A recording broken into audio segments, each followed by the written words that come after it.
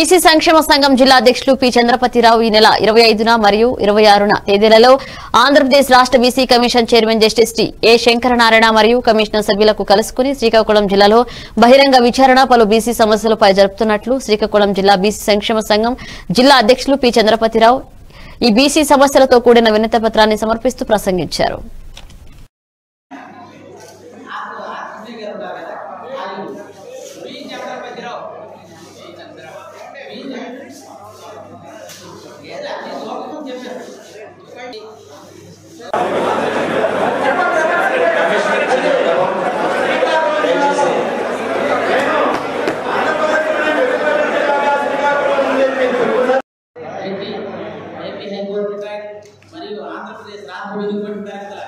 Chairman Andhra Pradesh ప్రభుత్వం విజయవాడ వారికి నమస్కరించి రాసుకున్నాను ఉన్నటువంటి మా వినప.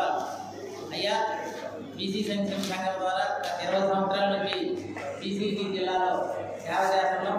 ఒక బీసీలే కాకుండా అడుగు బలహీన వర్గాలకు కూడాను మేము సేవ చేస్తున్నాం సార్.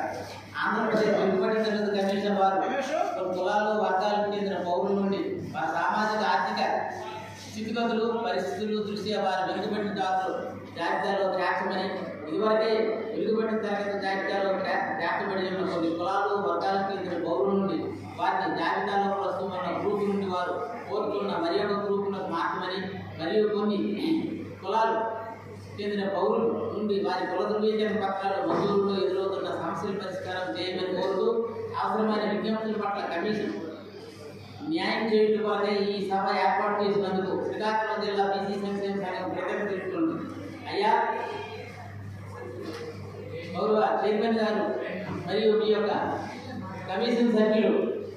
రాక బీసీ కులాల ప్రజల్లో ఎంతో అత్యంత ప్రాధాన్యత సంస్కరించుకున్నారు సార్.